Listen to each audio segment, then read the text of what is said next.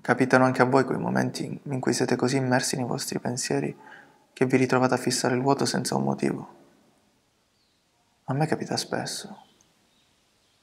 Ero lì, seduto nella mia stanza ad osservare la parete che avevo di fronte, quando gli occhi mi caddero su quel libro, un piccolo libricino dalla copertina gialla e nera.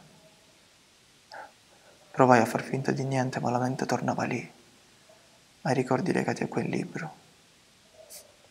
È strano, come un semplice oggetto possa farti rivivere dei momenti che ormai sono passati, dei ricordi che ti lasciano un vuoto dentro, un vuoto che credevi di aver superato, e invece è lì, a riempirti la mente, con la sensazione che una parte di te abbia smesso di vivere.